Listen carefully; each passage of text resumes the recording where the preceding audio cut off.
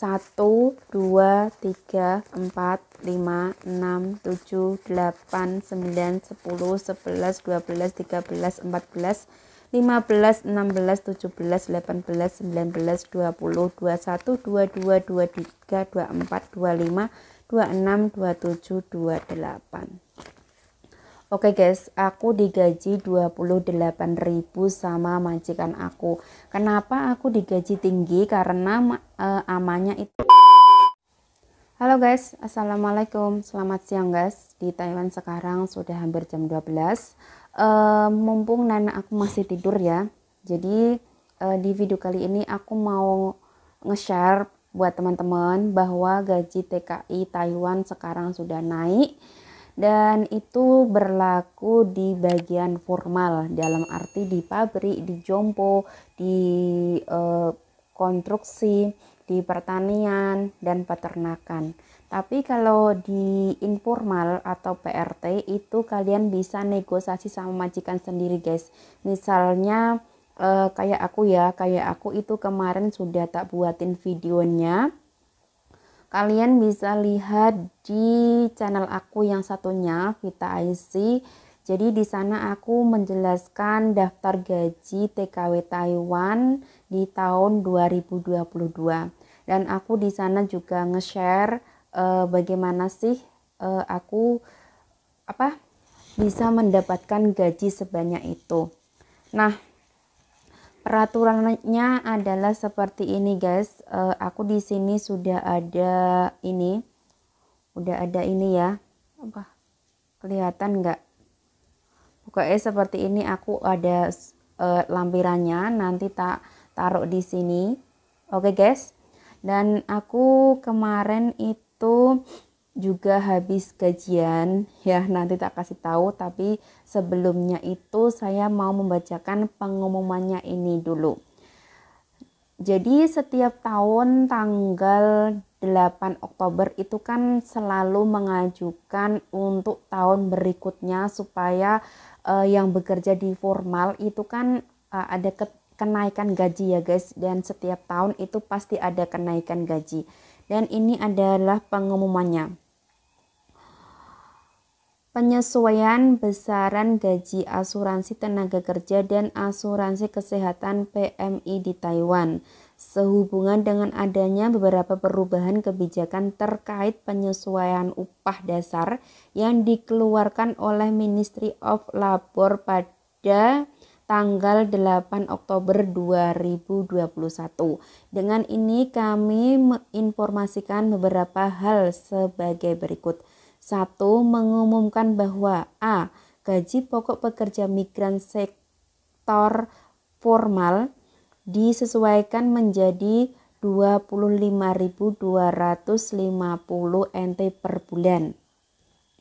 B. Kebijakan tersebut efektif, efektif mulai berlaku sejak tanggal 1 Januari 2022 untuk jabatan pekerja perawat di panti jompo atau rumah sakit, pekerja konstruksi, dan nelayan. C. Sesuai dengan pasal 21 Undang-Undang Standar Perburuan Taiwan, ditetapkan bahwa pekerja migran harus dibayar dengan gaji yang ditentukan melalui negosiasi, negosiasi dengan majikan atau pengguna. Namun jumlah gaji tersebut tidak boleh kurang dari gaji pokok yang telah ditetapkan. 2.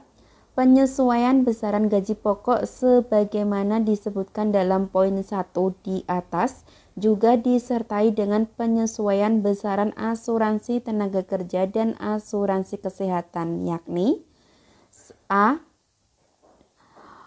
telah mengumumkan besaran asuransi tenaga kerja bagi pekerja migran sebesar 530 NT per bulan. B. Asuransi kesehatan bagi pekerja migran sebesar 392 per bulan termasuk pekerja migran sektor informal. 3.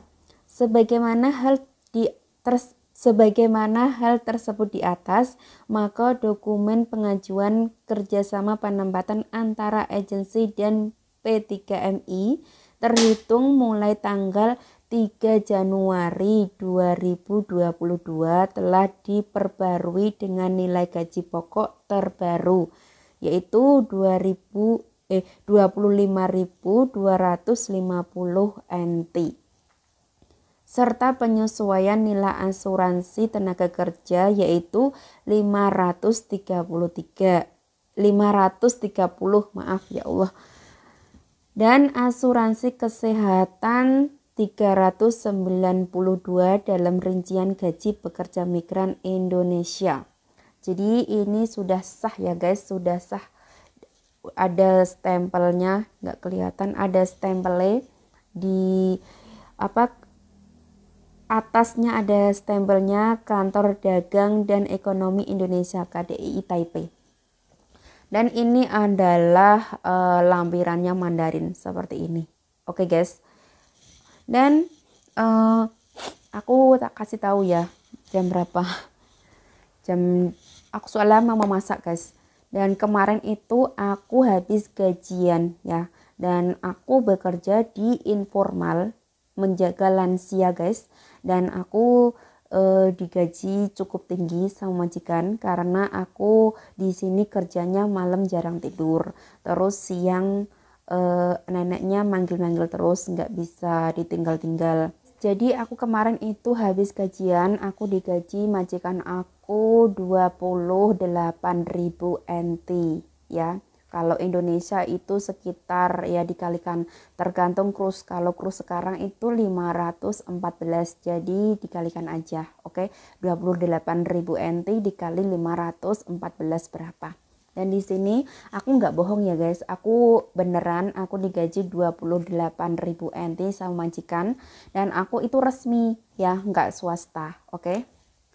1, 2, 3, 4, 5, 6, 7, 8, 9, 10, 11, 12, 13, 14, 15, 16, 17, 18, 19, 20, 21, 22,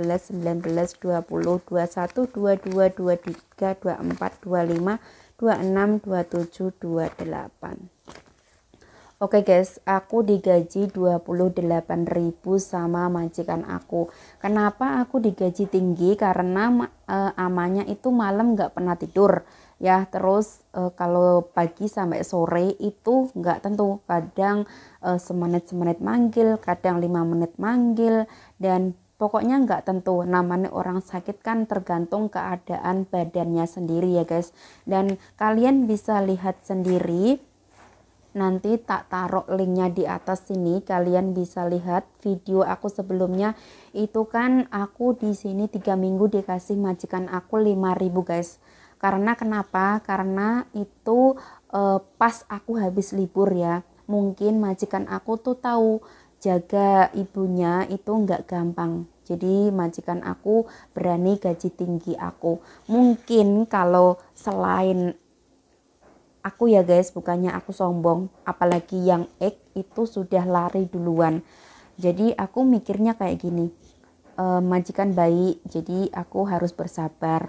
Terus e, Allah mengasih aku cobaan seperti ini ya aku pasti bisa kayak gitu. Aku pasti bisa melalui di zona ini kayak gitu. Ya kita harus bersabar kayak gitu guys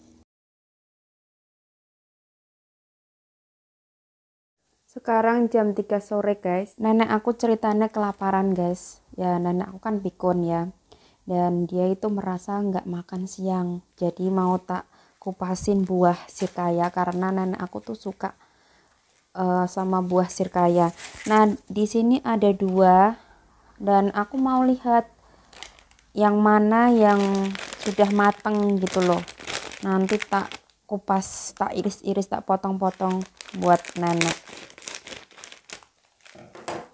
dan ini uh, yang beli tuh cece aku guys. Anaknya amaku ya. Katanya satu ini adalah 100 nih ini kayaknya udah boleh dimakan. Nih. Ini sekitar 100 kalau uang Indo nggak tahu eh, dikalikan 514 kali ya ini sudah bisa dimakan kayak eh kalau ini belum guys. Ini katane kalau ini lebih besar ya. Ini katane dikasih temene. Temene uh, cecek aku kan punya nenek. Dan neneknya itu nanam sendiri. Nih jadi ini tak taruh uh, mau tak kupas ini dulu. Oke okay guys. Yuk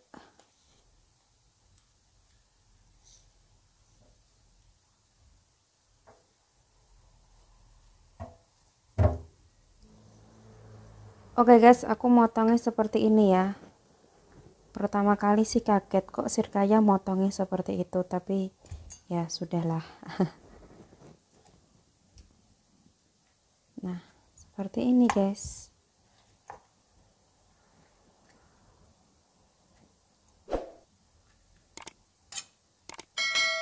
Nah, jadinya seperti ini ya.